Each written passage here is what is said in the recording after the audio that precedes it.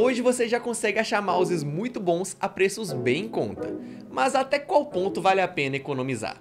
E aí pessoal, eu sou Breno Hayashi e este é o canal Hightech.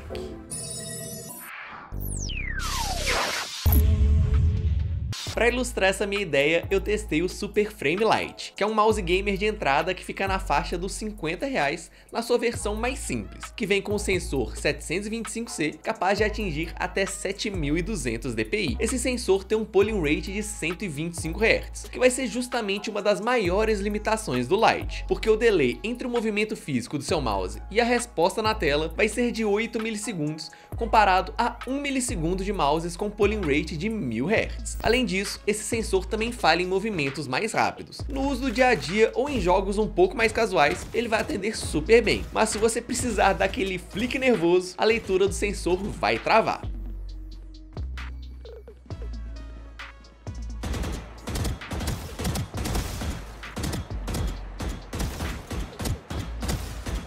Outros detalhes que você pode notar em mouses mais baratos são grandes diferenças nos cliques do botão esquerdo e do direito, que para algumas pessoas mais exigentes pode ser um problema. Também notei no Lite que os botões laterais são mais molengas, apesar de terem um clique com som até bacana.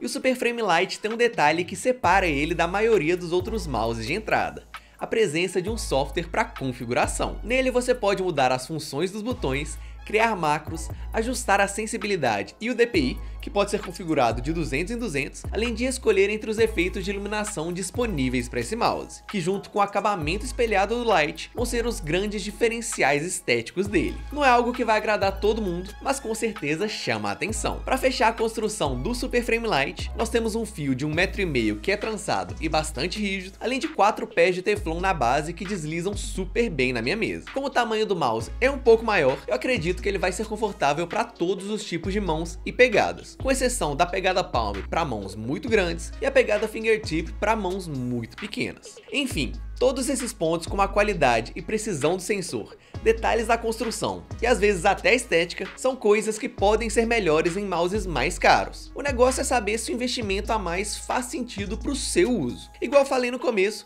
este modelo já atende muito bem para o uso em jogos casuais, mas se você já quer subir um pouco o nível da sua gameplay, faz sentido olhar mouses com sensores melhores para evitar aqueles possíveis engasgos. Uma opção seria o próprio Super Frame Lite, mas com o sensor PixArt 3325, que é o mesmo do Redragon Cobra, sendo que ambos podem ser encontrados abaixo da faixa dos 100 reais. O vídeo fica por aqui e eu espero que vocês tenham gostado. Muito obrigado à Terabyte Shop por me enviar o Super Frame Lite e caso vocês tenham interesse em comprar esse mouse, o link está na descrição junto dos links das minhas redes sociais.